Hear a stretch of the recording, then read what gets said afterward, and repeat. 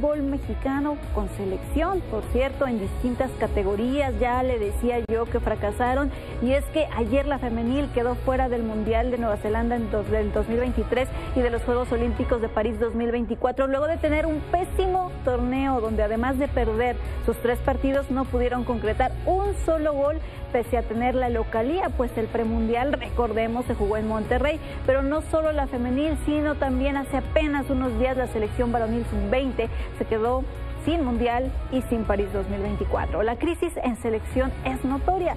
Platiqué con Guillermo Ochoa al respecto y esto fue lo que comentó.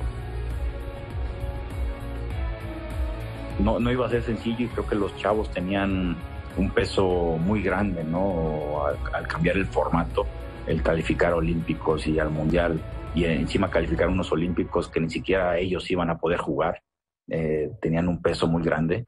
Y, pues nada, o sea, yo creo que los chicos, eh, yo creo que ellos tienen todavía una carrera, más bien tienen una carrera por delante.